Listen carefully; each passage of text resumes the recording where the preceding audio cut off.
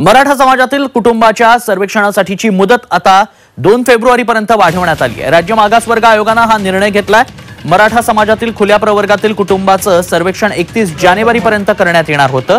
मात्र ते पूर्ण न झाल्यानं आता दोन फेब्रुवारीपर्यंत मुदत वाढवण्यात आली आहे.